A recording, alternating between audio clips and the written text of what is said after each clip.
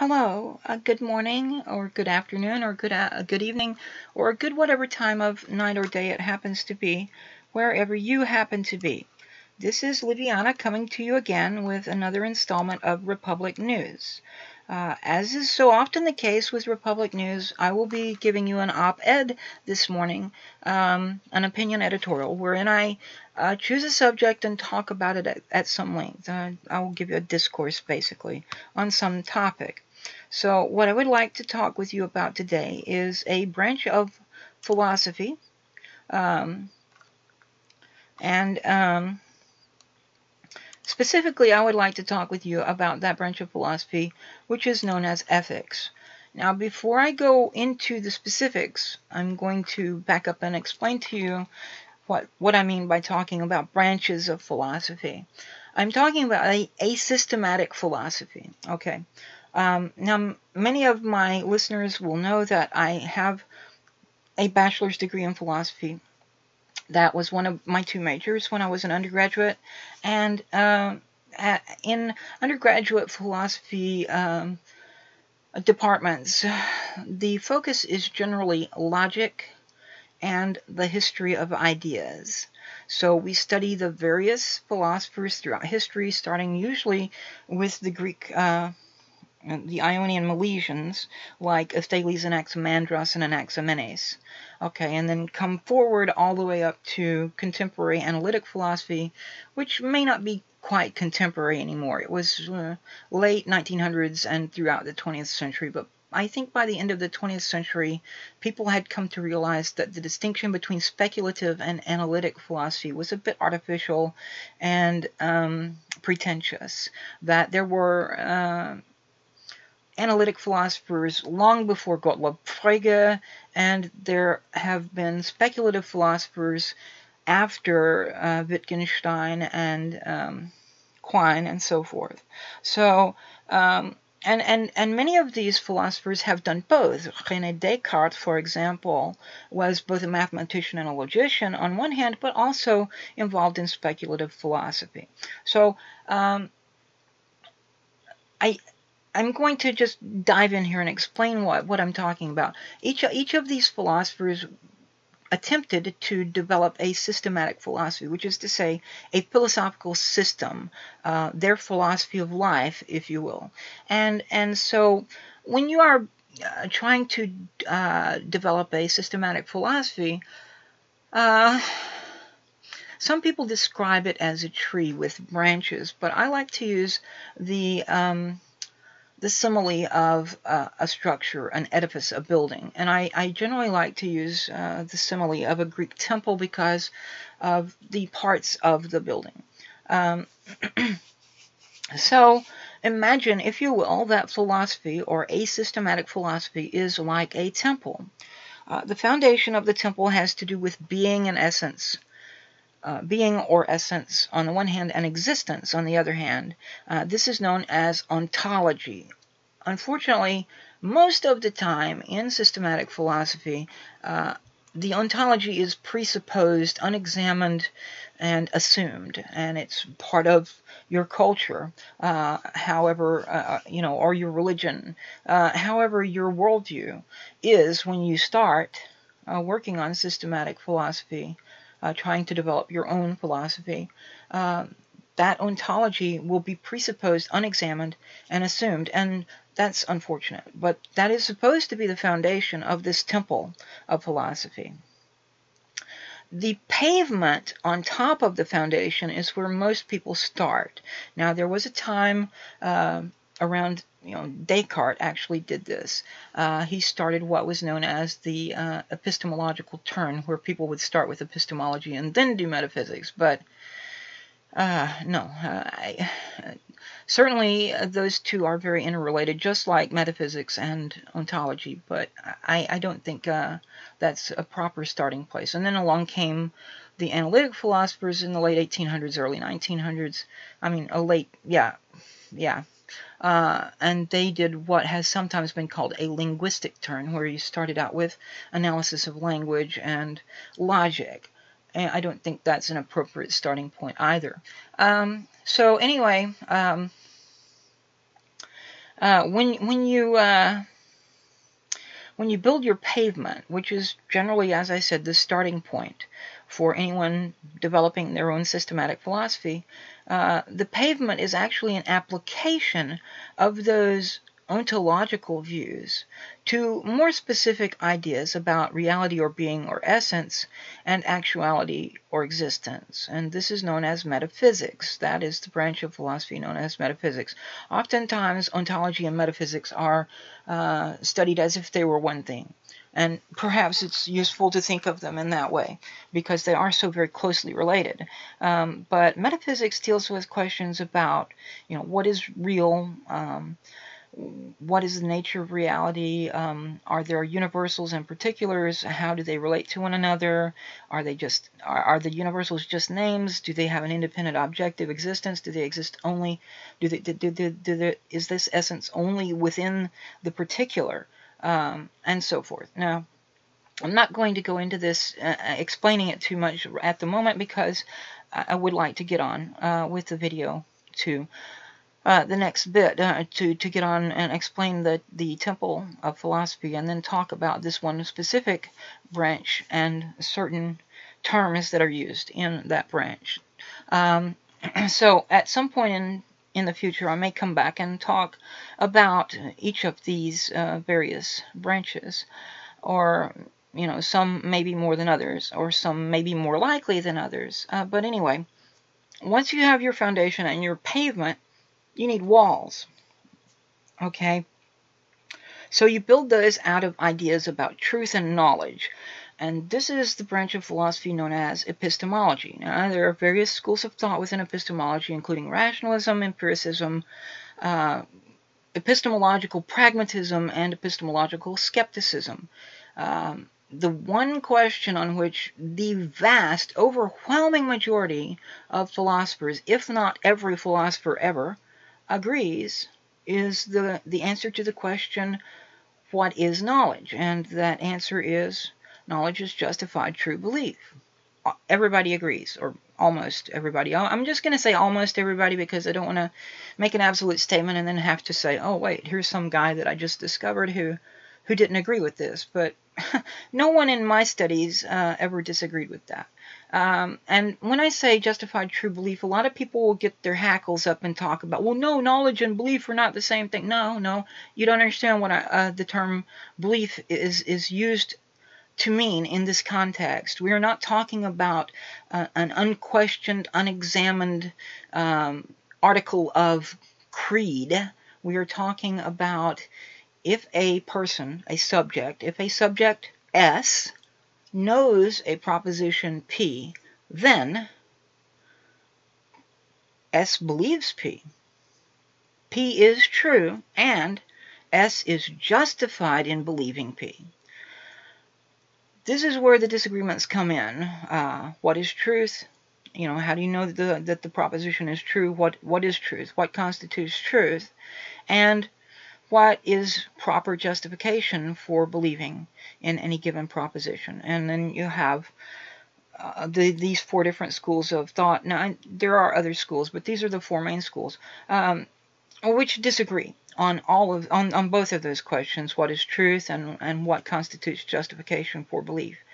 And so You'd have rationalists who would talk about reason. You'd have empiricists who would talk about experience. And experience is a, a technical jargon term. It doesn't mean like uh, wisdom gained from life experience, not that kind of experience. It means sense perception, and it refers to um, their their technique, their method. The empirical method or the scientific method involves observation and experimentation, gathering statistics, and and so forth, um, statistical data. Um, so and then you have your pragmatist who would say, well, sometimes reason works and sometimes, um, you know, sense perception works. And so, yeah.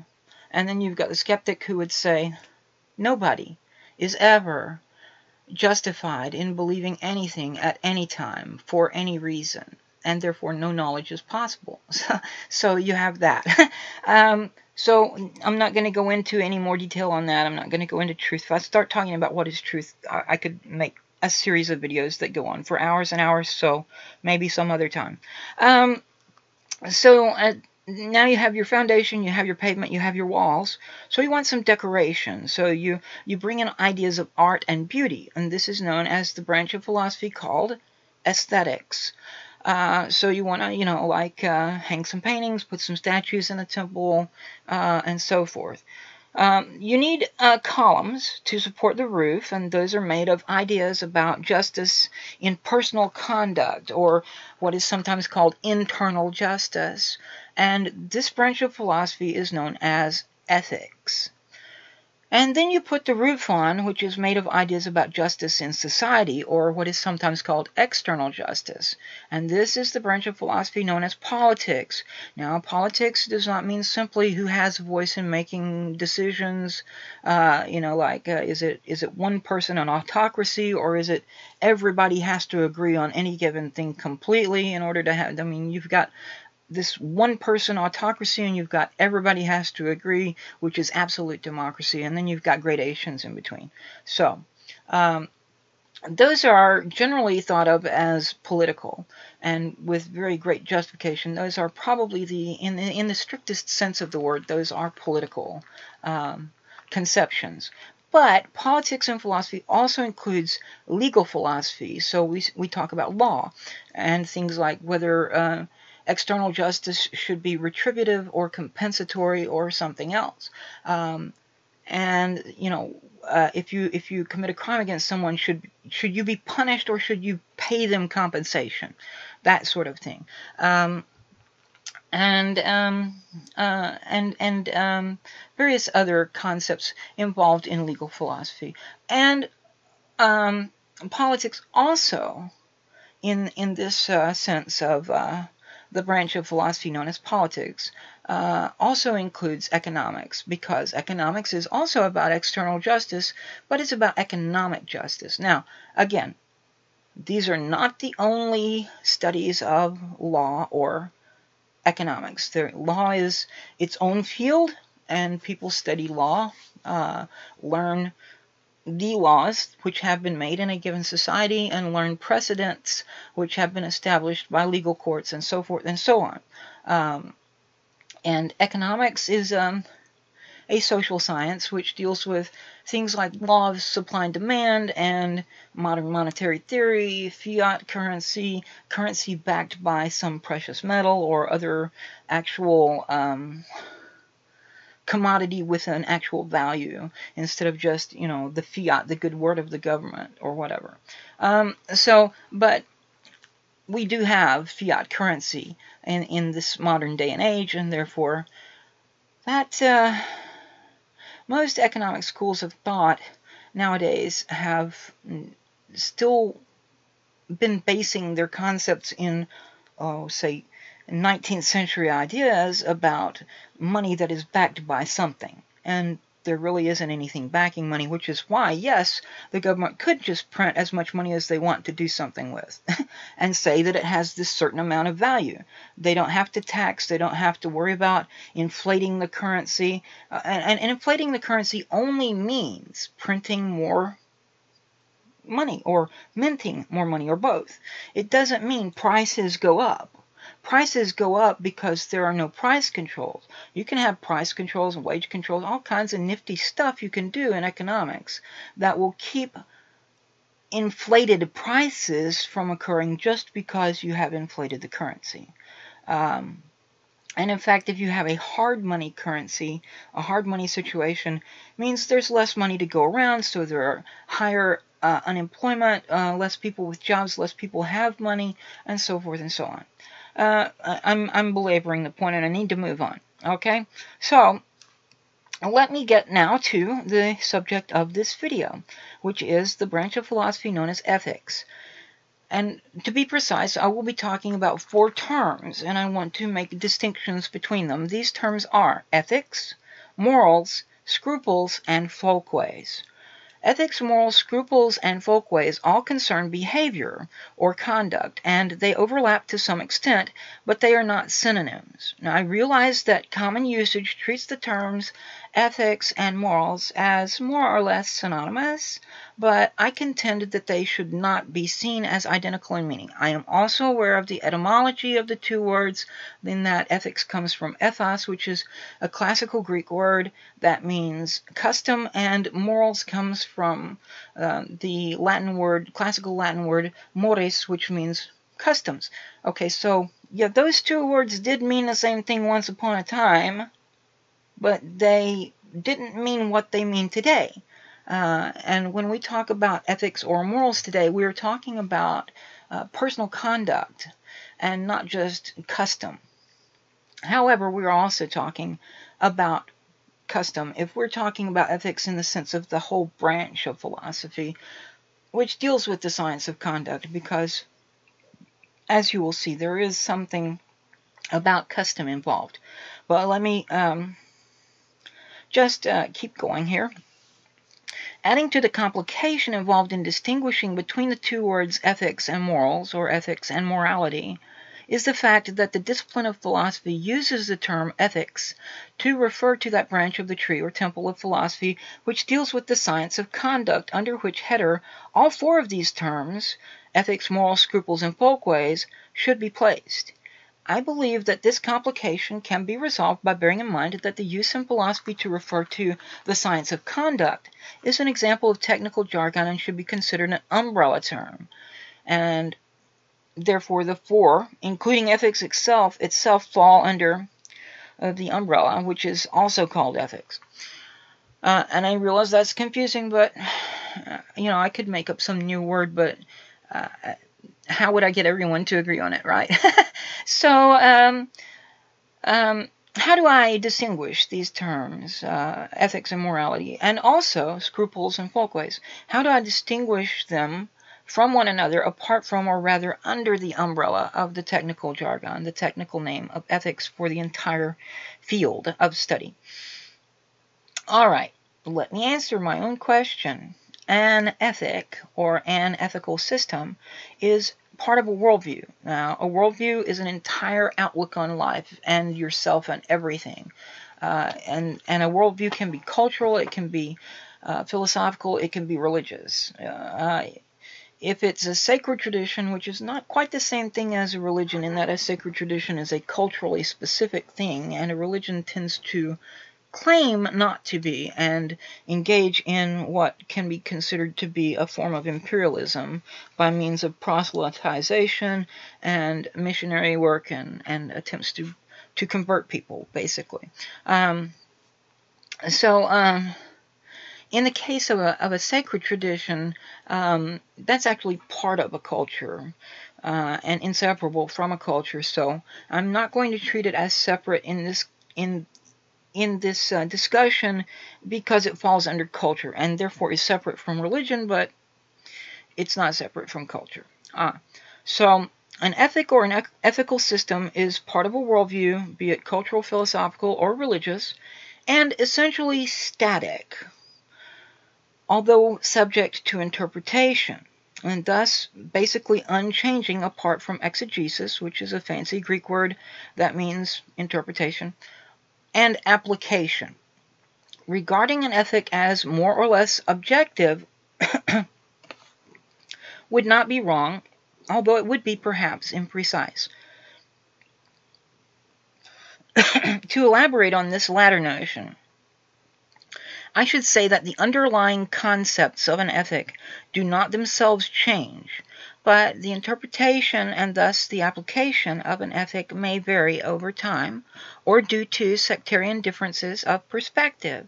In order to hold this understanding, I must disregard uh, hyperliteralistic legalism, which I would insist is an aberration of ethical thought due to the innate irrationality of such a perspective, which invariably leads to self referential incoherence, doublethink, and cognitive dissonance. Uh, and this often comes about because of the uh, potential for catch-22 situations. Now, I, I will, at some point in the future, I will do another video probably. I'm not going to promise because I don't know, but maybe. Um, I would like to, and, and it's something that I can uh, carry on about for some length. Um, wherein I explain the different types of schools of thought in ethical philosophy. Uh, the main, the four main schools of thought are um, legalism, intentionalism, consequentialism, and situationism. Um, but I'm not going to go into that right now. An ethic um, uh, an ethic, therefore, well, I'll, I'll, I will summarize in a bit. Uh, a morality, on the other hand, is societal. It is malleable with respect to time and place, and therefore relative, although not like radically relative. Morals change as the society ebbs and flows in its in various factors, including education, experience, technological changes, exposure to other societies, migration, environmental factors, and so on. What is regarded as moral by a given society will change over time, and this change is more than mere reinterpretation and application. The underlying concepts themselves change. If a social group immigrates to another geographic location, the physical environment of their new home, as well as their new neighbors, may affect their morality over time. With technological advances, new challenges arise, and new understandings are born as solutions to those new challenges are discovered. Uh, these may also under, alter the underlying moral concepts of the social group. Again, uh, the quality of education in a society fluctuates over time, and this too can change basic concepts of a society as some things are forgotten and other things are learned. Scruples are individual viewpoints on conduct and behavior, which are usually influenced to a greater or lesser extent by the morals of the society in which the individual lives, and potentially also by the ethics of the various worldviews with which the individual may have come in contact. Scruples will, for most individuals, change over time, although slowly, but they change due to various influences and experiences as well as continuing education. Uh, most of us don't believe the same concepts of right and wrong that we believed when we were four years old, for example. You know, um, now folkways are either cultural or societal or both, and tend to be rather conservative, by which I mean they change very, very slowly.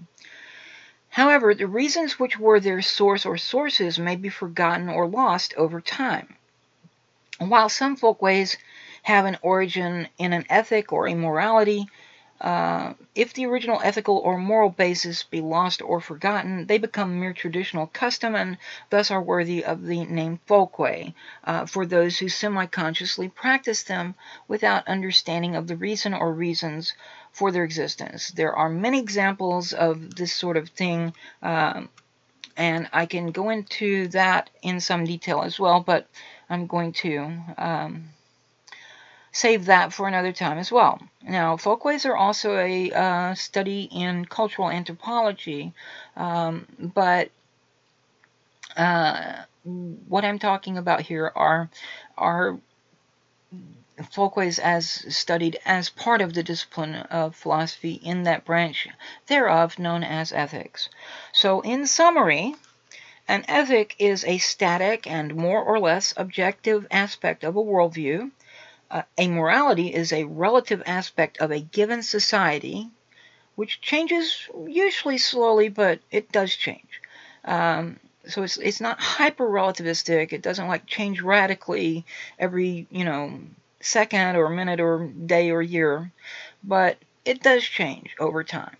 Um, scruples are individual and generally variable. Uh, they will change a little more quickly than a morality itself, uh, usually, um, but they also are typically pretty slow uh, to change uh, as uh, people have these ideas of right and wrong and they are very basic concepts to a person. These are things we are taught from childhood, and um, and then we form our own ideas about them. And so those are our scruples, our own ideas.